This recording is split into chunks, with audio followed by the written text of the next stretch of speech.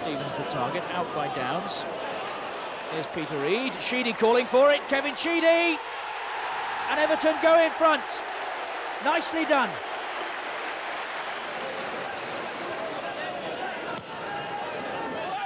That's an enormous kick from Ogrizovic. Here's Bracewell looking for Southall. Bannister's onto that. And will it roll? Yes. 1 1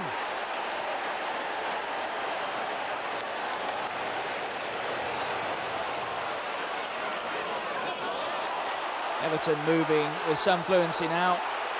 Snodin, here is Kevin Sheedy, and that's 2-1, and a glorious goal as well.